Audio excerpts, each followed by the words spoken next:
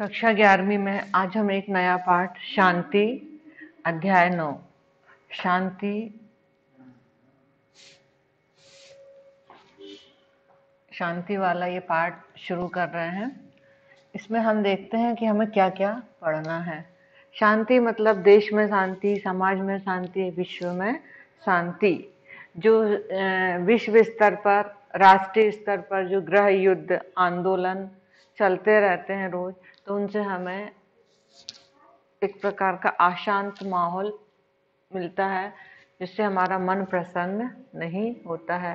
अभी वर्तमान में आप देख रहे हो, भारत देश में किसान आंदोलन चल रहा है। तो हम देखते हैं कि ये आंदोलन, चाहे वो अपने ग्रह स्तर पर हो या विश्व स्तर पर हो, और विश्व में पहले भी बहुत सी, प्रथम विश्व युद्ध, द्वितीय विश्व युद्ध ये सारी घटनाएँ हो चुकी हैं।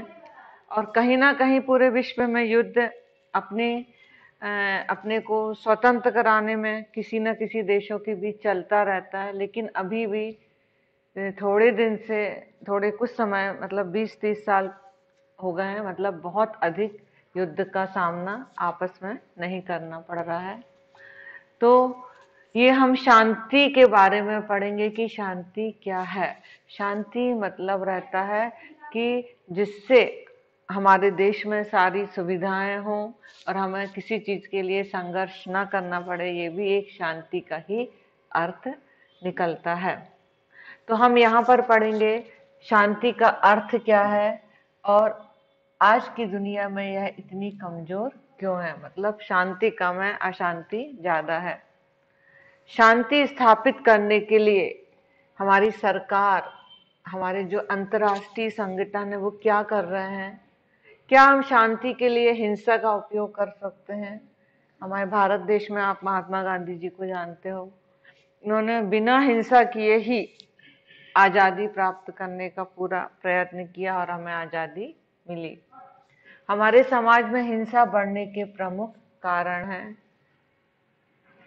तो सबसे पहले हम शांति के बारे में पढ़ेंगे पीस तो शांति का यहाँ अर्थ दिया है कि मधुरता और भाईचारे की अवस्था, जिसमें हमें किसी से, किसी के प्रति बैर ना हो, बैर बिल्कुल अनुपस्थित हो, किसी से घृणा ना हो, वही शांति है। तो जब अंतर्राष्ट्रीय संदर्भ में युद्ध होते थे उनमें विराम होता था, संघर्ष होते थे। वहाँ भी बाद में हमें इतना उसमें नुकसान होता था, विनाश होता था तो लोग शांति की कल्पना करने लगते थे। तो कई विचारक मानते हैं कि युद्ध का उल्टा क्या है? शांति है। मतलब युद्ध ना होना ही शांति है। भारत को विश्व का गुरु और शांति दूत माना जाता रहा और अभी भी विश्व का विश्व गुरु होने का पद मिलता रहा। लेकिन ए, कुछ व्यक्तिगत स्वार्थ भावना के कारण शांति का धीरे धीरे पतन होता जाता है और इसका कारण है कि व्यक्ति में स्वार्थ कायरता अविश्वास और ईश्वर प्रदत्त प्रेम भाव का भावनाएँ धीरे धीरे विलुप्त हो रही हैं। शांति मानव की प्रबल इच्छा रही। चाहता है वो, लेकिन अपने क्रियाकलापों से थोड़ा सा भूल कर देता है। तो कोई भी युद्ध होता है, इतिहास में इतने युद्ध हुए, सब लोग बाद में शांति की कल्पना करते हैं। भारत में क्या विश्व में आपने इतिहास पढ़ते हो, आप देखते हो कि बहुत सारे युद्ध हुए और सब त्रस्त रहे। तो जो एक वैज्ञानिक हैं, जॉय जेक्स बेबल इन्होंने युद्ध की गिनती की और द्वितीय विश्व, पहला विश्व युद्ध आपको मालूम है 1914 से 1919 के बीच चला। द्वितीय विश्व युद्ध उन्नीस से 1945-46 के करीब चलता रहा। जब प्रथम विश्व युद्ध हुआ तो भी लोगों ने संयुक्त राष्ट्र संघ का निर, एक संघ का निर्माण किया संयुक्त राष्ट्र संघ का। शांति के लिए विभिन्न देशों का एक संगठन किया। द्वितीय विश्व युद्ध के बाद उसका परिवर्तित रूप उसका संगठन किया ताकि विश्व में लोग लड़ाई ना करें। तो देखते हैं कि 14,500 से लगभग इतनी लड़ाइयाँ लड़ चुका। और जो फ्रांस के एक समाज शास्त्री गैस्टन बुटहल उन्होंने उन्होंने बताया कि संसार के विभिन्न देशों ने 8000 शांति संधियाँ की। युद्ध किए। युद्ध के बाद लोगों के मन में युद्ध से अरुचि उत्पन्न हो जाती है, पर वो शांति की कामना करने लगते हैं। एक प्रमुख विद्वान है, मारगेंथो। उन्होंने मानव जाति के हज़ारों वर्षों के इतिहास में उन्होंने ढूंढा कि देखें कि पृथ्वी के किसी न किसी भाग में संघर्ष युद्ध होता ही रहता, उनको कोई भी दिन ऐसा नहीं मिला इसमें पृथ्वी के किसी भाग में युद्ध ना हो रहा हो। तो जो मानव युद्ध की कल्पना इसलिए करते हैं क्योंकि उनको लगता है कि दूसरे देशों के पास क्या है? हथियार हैं, आणविक अस्त्र शस्त्र हैं। लेकिन मारघुंतो ने बताया, मनुष्य इसलिए युद्ध नहीं करते कि उनके पास हथियार है, बल्कि उनके पास हथियार इसलिए हैं क्योंकि वो युद्ध को आवश्यक समझते हैं। हथियारों का निर्माण हम क्यों करते हैं? युद्ध के लिए ही करते हैं। तो एक फ्रेडरिक से एक दार्शनिक जर्मन के रहने वाले हैं। इन्होंने युद्ध को अच्छा माना। उसकी महिमा बखानी। उन्होंने कहा कि संघर्ष ही सभ्यता की उन्नति का मार्ग है। अपने को युद्ध से बचना है, लेकिन फ्रेडरिक नित्से ने युद्ध को क्या माना कि संघर्ष करते रहना चाहिए और संघर्ष ही सभ्यता की उन्नति का मार्ग क्या करता है? प्रशस्त करता है। तो ये अलग अलग विद्वानों ने अपने शांति के बारे में, युद्ध के बारे में अलग अलग विचार प्रस्तुत था। उन्होंने बताया कि शांति को उन्होंने बेकार बताया और बोला कि संघर्ष होना चाहिए। इटली के एक समाज सिद्धांतकार विल्फ्रेडो पैरोटो ने बताया कि समाज में शासक वर्ग का निर्माण सक्षम और अपने लक्ष्य को पाने के लिए ताकत का इस्तेमाल करने के लिए तैयार लोगों से होता है। और उन्होंने बताया कि लोग अपनी ताकत का इस्तेमाल करते हैं, अपने उद्देश्य को पाने के लिए, और उन्होंने ऐसे लोगों का वर्णन शेर के रूप में व्यक्त किया। तो हम देखते हैं कि विश्व में कहीं ना कहीं हिंसा होती रहती है, युद्ध होते रहते हैं। अब जैसे देखिए क्रेडरक नीत से तथा विल्फ्रेडो पैरटो ने बताया कि युद्ध से ही युद्ध होना चाहिए। परंतु द्वितीय विश्व युद्ध में तो बहुत विनाश हुआ। बहुत से देशों को क्षति हुई। आपने देखा था ना हीरो, जापान की हीरो सीमा नागासाकी पर परमाणु बम अमेरिका ने गिरा दिया था। तो इस प्रकार हम देखते हैं कि युद्ध होते हैं, लेकिन कहीं कहीं पर बहुत अधिक विनाश होता है। जर्मनी ने लंदन में भी बहुत बमबारी की थी। अंग्रेज़ों ने एक हज़ार बम वर्ष, ये आपका एक जनरल नॉलेज भी है। तो अंग्रेज़ों ने भी जर्मनी पर बम भेजने के लिए पूरी तैयारी कर ली थी। उसी समय अमेरिका ने जापान के, ये दो नगर थे, हिरोशिमा और नागासाकी, और इस पर परमाणु बम गिरा दिया। उस समय बहुत से लोगों की मृत्यु हो गई थी, एक लाख बीस हज़ार। और कुछ लोग अभी भी, आज भी उस परमाणु विकरण के कारण उसकी जो असर है परमाणु विकरण का, उसकी समस्या से आज भी त्रस्त हैं। द्वितीय विश्व युद्ध के बाद फिर पूरा विश्व दो महाशक्तियों के बीच में बट गया। दो महाशक्ति आपको मालूम है, एक अमेरिका और एक थी एक अमेरिका एक पूंजीवादी थी और एक सोवियत संघ साम्यवादी थी। इनके बीच शीत युद्ध होते रहे। दोनों महाशक्तियों ने अपनी सर्वोच्चता, कौन से देश हमारी शक्ति में शामिल होना चाहिए, वो अपने संगठन बनाते रहे, हथियारों का निर्माण करते रहे। और ऐसा लग रहा था कि दोनों महाशक्तियों के बीच युद्ध हो जाएगा। लेकिन शीत युद्ध होता रहा, लेकिन बड़ा युद्ध नहीं हुआ। कई घटनाएँ हुई दोनों की, जैसे क्यूबा मिसाइल संकट। क्यूबा मिसाइल संकट में उन्होंने देखा, अमेरिका ने देखा कि क्यूबा देश में सोवियत संघ द्वारा निर्मित हथियार उपयोग की उपस्थिति का पता लगाया।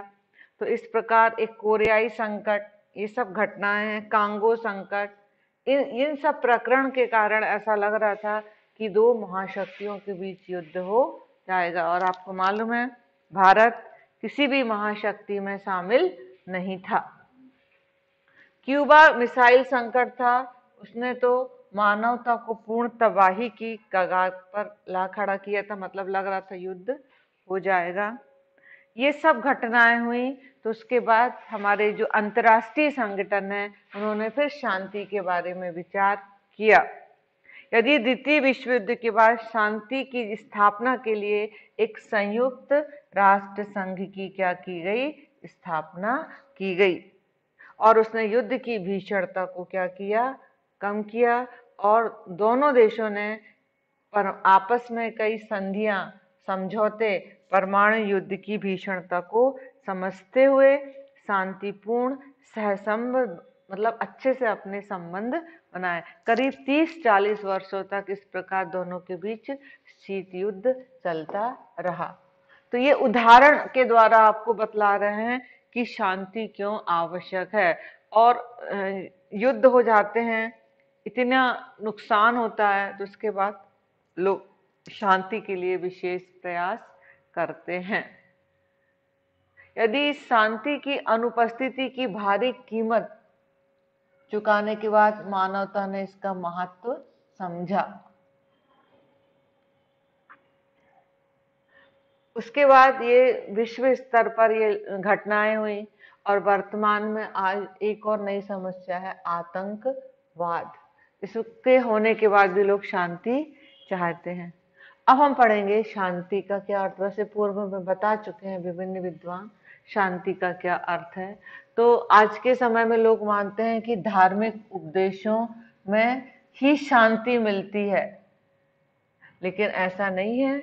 आधुनिक काल भी लौकिक और आध्यात्मिक दोनों क्षेत्रों में शांति के प्रबल पैरोकारों का साक्षी रहा। आपने महात्मा गांधी के बारे में सुना ही है। उन्होंने अहिंसा को ज़ोर दिया। तो यहाँ पर एक शांति की परिभाषा निकल रही है कि युद्ध की स्थिति ना होना शांति है। लेकिन ये परिभाषा से ऐसा नहीं लगता कि युद्ध हो तभी अशांति होती है। युद्ध तो 60 वर्षों के दौरान युद्ध के स्वरूप में क्या आया है? बदलाव। क्योंकि तो दो महाशक्तियों का अस्त हो गया।